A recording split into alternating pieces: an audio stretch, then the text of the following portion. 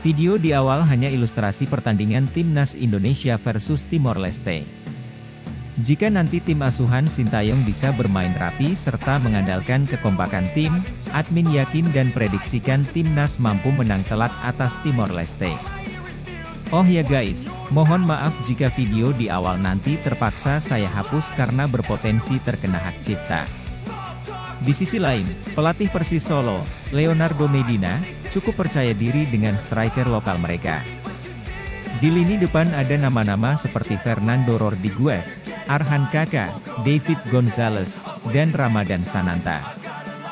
Rodriguez sudah menyumbangkan 5 gol dan Sananta memberikan 4 gol. Arhan yang masih muda mendapatkan kesempatan tampil sebagai starting 11 saat melawan Bali United. Sananta juga menjadi andalan di timnas U23 Indonesia dengan sukses mencetak 5 gol di SEA Games 2023. Sementara Arhan di timnas U17 Indonesia akan jadi andalan untuk bersaing di Piala Dunia U17 2023. Berbicara tentang dua pemainnya tersebut, Leonardo Medina memiliki pertimbangan tersendiri. Menurutnya, Sananta dan Arhan merupakan pemain masa depan timnas Indonesia. Dua pemain ini memiliki potensi yang besar di masa depan, luar biasa, menurut saya mereka terbaik di Indonesia, kata Leonardo Medina.